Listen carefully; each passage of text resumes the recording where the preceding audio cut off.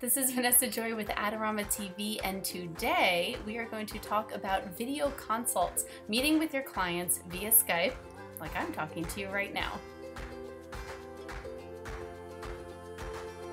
Hi, this is Vanessa Joy with Adorama TV, and I am here with Michael Anthony, who is also a fellow educator and photographer, and his gorgeous wife Jennifer. So, hey guys, how you doing? Hey Vanessa. And they're they're going to be my pseudo couple today, so I can talk to you guys about how I do consultations with my clients. And this is great because these two are also a wedding photography team, so they're going to interject maybe like the West Coast version because you guys are in LA while I am in New Jersey. So we might have some differences here. So, yep. yeah, specifically, I wanted to talk about video conferencing because more and more now I'm Skyping or I'm doing FaceTime or Google Hangout with my clients from the second I meet them to even going and picking out a wedding album sometimes. So times are changing. Before we would always want them to come in and meet with us, and which is great when they can, you know, smell, look, touch, feel everything but now it's not always possible. So First off, I prefer actually to do Skype because then I don't have to clean my house because I do have a home studio. Are you guys working out of your home? No, no, we have an office, but uh, but time definitely it does benefit us to Skype because we get to save a lot of time. Exactly. Um, it, yeah. Yeah, it does save a lot of time, which it, which is nice. So, and then also I phrase it as like a convenience thing to my clients. A lot of my clients are in Manhattan, and where my studio is, it's just not easy to get to. And I know in LA, traffic yeah. is a is a big deal. Yeah. So, yeah, we're in the northern part of the county, so pretty much uh, anytime clients coming to see it, probably a forty five minute to an hour drive minimum yeah and that's no fun. So so first off when you're consulting or getting ready for an appointment with your clients you know tell them hey this is an added benefit that i will meet with you via skype. Um, second of all when you're doing it try to have good lighting. We're all lit pretty well. I do it on purpose. I don't know if you guys do it on purpose. Make sure you're lit so you look good. yeah light right here. Yeah see? You're using the ice light. Nice.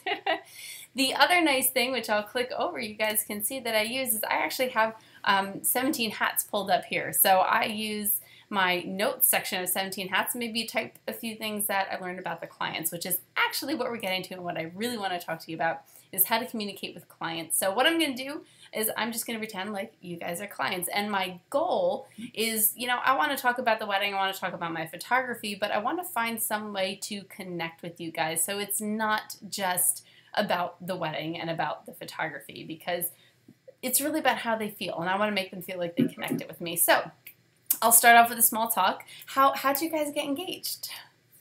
Go ahead, tell the story. Oh, honey. on my birthday, and he created a website for me, um, which is kind of nerdy but really cute. Yeah, pretty much. You want to add anything to that? Yeah, no, it was uh, it was about um, 95 degrees in the middle of August, and I was wearing a, a a big black jacket because I was trying to hide the ring in my pocket. So I was trying not to sweat um, because I was nervous and hot at the same time. And um, you know, eventually it ended up uh, it ended up working out. So she said yes, and here you know here we are today. Aw, do you remember? do you remember Jen anything about it, or is it just a whole blur glaze? Well, it was my birthday and I had a drink, so it's kind of like a blur. That's how you get her to sit. You, you get her drunk first. yep, yep. I think you know it's funny. I always say that most of the time, either we know we're getting proposed to, so we ruin the surprise, or we end up just not just blanking. It's like, oh my god, yeah. this is happening right now. Where, so where are you guys from? How did you meet? Uh, we used to work together. Um, I worked at a, a, uh, car dealership, and Jen came to work there for the summertime. Her sister and I were coworkers, and uh, and she introduced us. Oh, nice! And how long were you guys together?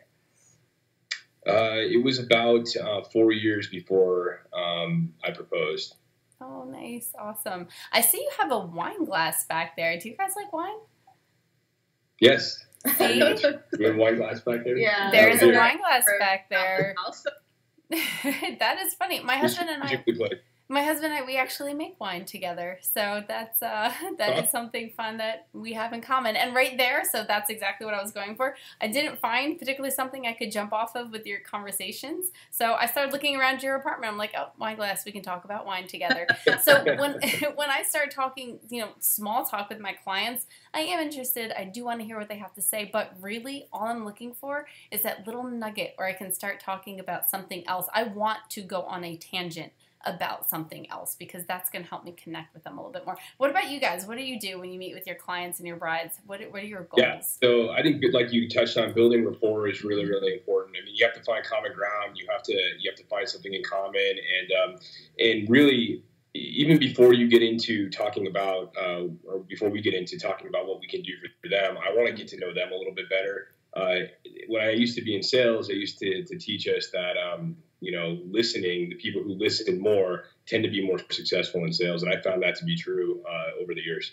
Oh, perfect. So thank you guys so much for your input and thank you for being my couple. I hope that was helpful to you guys out there at the Adorama TV channel. Um, as far as what goes on after this, the rest of it is just talking about the wedding and then I'll show them my pricing. Um, and I do show my pricing online so they don't have to download anything. It's a link. Really easy. My clients love video conferencing, and uh, hopefully it'll work for you guys. Make sure you hit that subscribe button down there somewhere on the bottom so you don't miss a thing here with Breathe Your Passion on Adorama TV. See you next time.